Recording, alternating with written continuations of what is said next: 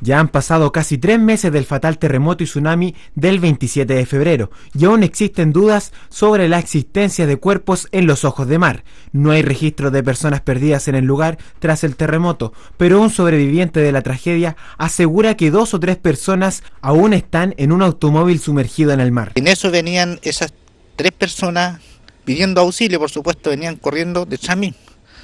Yo lo espero, me tenía el motor funcionando ellos que suben, esas dos personas, y al subir la tercera persona, me parece que no alcanzó a subir, cerraron las puertas, porque llegó, hubo una, una explosión, cosa de segundo, fracción de segundo.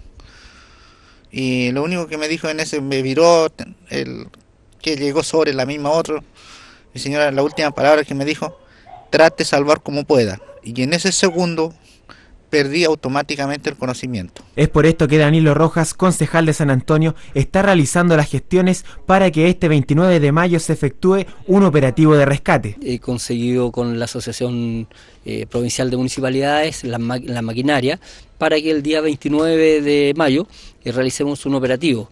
Don Rosendo tiene la percepción de que posiblemente en, el, en los asientos de atrás de su auto hayan dos o tres personas, puesto que dice que lo ayudaron a empujar el, auto y, después él lo esperó para que se subieran. Es de esperar que estas gestiones se concreten para que no exista ninguna duda sobre posibles personas perdidas.